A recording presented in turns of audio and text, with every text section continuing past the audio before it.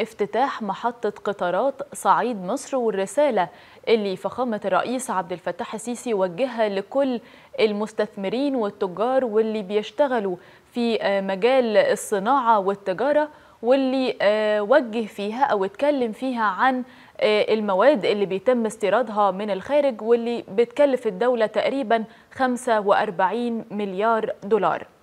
هنتكلم أكتر عن هذه الرسالة وكلمة الرئيس عبد الفتاح السيسي خلال افتتاح محطة قطارات صعيد مصر. معانا دلوقتي على التليفون الدكتور محمد البهواشي الخبير الاقتصادي. صباح الخير يا دكتور منورنا. يا أهلا وسهلا بحضرتك يا فندم. صباح النور. أهلا بحضرتك.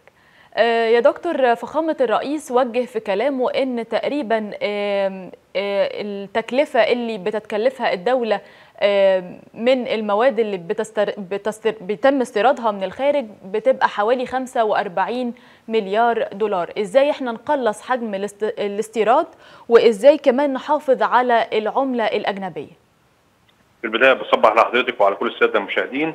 طبعا إحنا النهارده بنتكلم في موضوع مهم جدا ويمكن الدولة المصرية انتبهت ليه منذ تولي سياده الرئيس مقاليد الحكم. وهو الفاتورة الاستيرادية، الفاتورة الاستيرادية كلما كانت الضغط على الفاتورة الاستيرادية كلما كان في صعوبة على الاقتصاد المصري إن هو ينمو، ففكره النهارده إن أنا أعتمد على اقلل الفاتورة الاستيرادية ده مش هيحدث إلا باقتصاد مصري قادر على الانتاج قادر على تحويل موارده الخام اللي كان بيصدرها في شكلها الخام إلى إلى سلع وسيطه يستطيع من خلالها إن هي تحل محل ما يتم استيراده كمدخلات إنتاج. الفكرة النهارده دوت مش هيحدث إلا بقطاعات إنتاجية حقيقية. فعشان كده النهارده لما السيد الرئيس بيتكلم إن إحنا نقلل الفاتورة الاستيرادية النهارده الكلام على أرض ثابتة مش كلام في الهواء الكلام من الأرض الثابتة إن إحنا بقالنا النهارده 10 سنين الدولة المصرية بتصيغ أو بتعيد صياغة قدراتها الاقتصادية. النهارده بتتحول بالاقتصاد المصري إنه يصبح اقتصاد منتج اقتصاد حقيقي كما يعرف اقتصاديا قائم على الإنتاج في أغلب قطاعاته بيستغل الموارد الطبيعية الموجودة افضل استغلال أو استغلالها استغلال الأمثل بيحاول يعتمد على إمكانياته في التصنيع واللي يكون المنتج المصنع محليا بديل للمستورد وإحلال الموارد المصرية بديل للمستورد فهو ده كل كل كل الأمور دي إحنا بنتكلمها في كلمات بسيطة لكن عشان نحققها ليها خطوات وليها أسس كانت مش موجودة. لكن النهارده هنتكلم زي ما قلت إحنا كلامنا النهارده على أرض ثابتة إن في خطوات تمت بالفعل من ضمن الثورة الإصلاحية اللي انتهجتها الدولة خلال السنوات الماضية قدرت من خلالها إن هي تعظم الاستفادة من ثرواتنا الطبيعية. يمكن سياده الرئيس اصدر قرار بعدم تصدير المواد الخام في شكلها الطبيعي والسعي إلى تصنيعها شفنا النهارده كنا بنصدر الرمال البيضاء والرمال السوداء بيتم تصديرها في شكلها الخام لا النهارده بقى في تصنيع ليها بقى في مصانع الكوارتز في مصانع الزجاج في النهارده بنحاول نعظم من إمكانياتنا وطاقتنا ليكون المنتج المصري بديل للمستورد وخلينا نقول برضو أكتر إن الأزمات اللي مرت بالعالم منذ جائحة كورونا وتسببت في تضرر سلاسل الإمداد والتوريد على مستوى العالم وبالبلد حصل اصطدام للسوق قدرت من خلالها الدولة المصرية إن هي تشجع المصنعين المصريين بدعمهم ماديا ولوجستيا إن يحل المنتج المصري بديل للمستورد. وده بعد الضوابط اللي فرضتها الدولة المصرية بتكليفات مباشرة من سيادة الرئيس إن تكون المنتج المصري طبقا لضوابط ومواصفات ومعايير جودة العالمية سواء الأوروبية أو الأمريكية. فالنهاردة المنتج المصري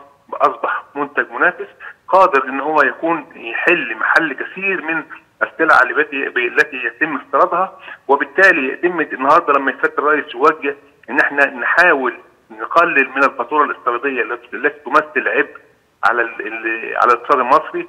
وزي ما قلت في بداية كلامي كلما زادت الفاتورة الاستيراديه معناها إن ده في ضغط على العملة الصعبة معناها إن دوت ضغط على العجلة الإنتاجية حتى اللي بيتم تصديره بيبقى فيه جزء من المستورد. فالنهاردة الدولة بتحاول تكمل المنظومة الصحية بالاعتماد على المصنع المصري إن هو يكون قادر على تصنيع المدخلات التي يتم استيرادها من الخارج. ودوت بعد حصر دقيق لما يتم استيراده. يمكن الرقم اللي قاله سياده الرئيس هو رقم مدروس وواقعي بالأرقام والأنواع والمواصفات التي يتم استيرادها من الخارج. فالنهاردة أصبحت هذه البيانات متاحة من خلال وزارة الصناعه أو وزارة الاستثمار إن تمد بيها المصنعين المصريين حتى يبدأوا ويشرعوا بخطوات جدية في إنتاج مثل هذه السلع لتكون المنتج المحلي هو البديل الحقيقي للمستورد ومن خلاله يعود بالنفع على المنتج المحلي ليكون منتج محلي خالص بنسب كبيرة حتى على الأقل. واعتقد النهارده الإرادة السياسية بتتجلى وبما لدينا من إمكانيات حقيقية على أرض الواقع بإذن الله قادرين على هذا.